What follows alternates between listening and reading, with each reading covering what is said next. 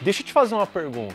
Você quer realmente, de verdade, crescer definitivamente na sua vida? Então existe três tipos de pessoas que você precisa eliminar da sua vida hoje. E o primeiro tipo de pessoa que você tem que eliminar, você conhece aquela pessoa que fica puxando o saco? Bajulador? São os bajuladores.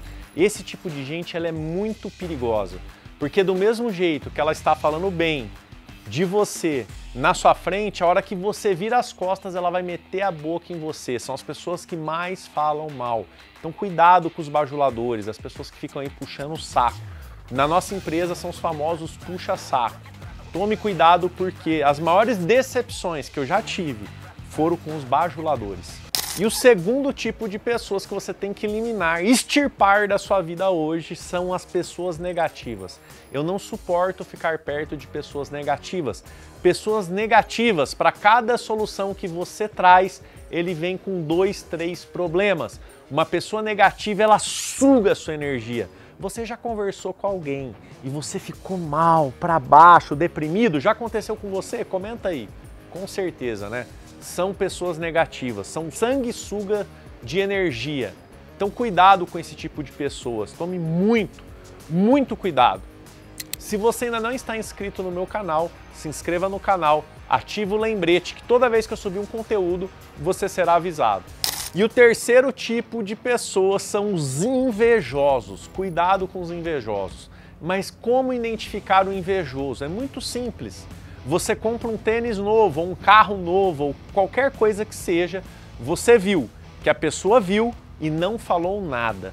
A pessoa que não é invejosa, ela vai olhar e vai te dar os parabéns. Cara, que legal! Você comprou um carro novo, comprou um tênis novo, está prosperando, parabéns, que carro bonito. Esse tipo de pessoa, ela não é invejosa. Existe uma diferença entre ambição e inveja. O ambicioso, ele sabe que você tem, ele te parabeniza por aquilo que você tem e ele também fala: pô, se ele tem, eu também posso ter, eu vou trabalhar para conquistar. Agora, o invejoso, ele sabe que não pode ter aquilo que você tem, mas ele também não quer que você tenha. Ele quer que você venha para baixo no nível dele. Cuidado com os invejosos. É até um ditado que diz: a inveja seca pé de pimenta, e isto é um fato. Tomem muito cuidado. Nunca vou esquecer de uma passagem. Passagem não, né? Que foi um fato que aconteceu na minha infância.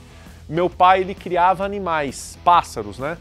É, eram pássaros, ele colecionava pássaros, ele tinha um bicudo, que é um pássaro azul maravilhoso, e, e era um pássaro que cantava muito. E na época eu lembro que ele pagou uma fortuna nesse pássaro. E o que aconteceu que uma pessoa foi lá na casa do meu pai e falou: "Nossa, que pássaro bonito, como canta demais". Gente, no dia seguinte o pássaro amanheceu com a boca cheia de formiga. A inveja do cara matou aquele animal. Então tomem cuidado com a inveja, com o invejoso. Se afaste desses três tipos de pessoas se você quiser crescer de verdade. Hoje eu conquistei aí um faturamento nos nossos negócios bilionário, construí a maior casa de São José do Rio Preto, que é essa casa aqui que eu estou gravando. A casa tem mais de 2.200 metros quadrados de área construída. Mas isso só foi possível porque eu extirpei alguns anos esses três tipos de pessoas da minha vida. Espero que vocês tenham gostado desse vídeo. Se gostaram, compartilhe aí com seus amigos. Se ainda não se inscreveram no canal, se inscreva no canal e te espero na próxima.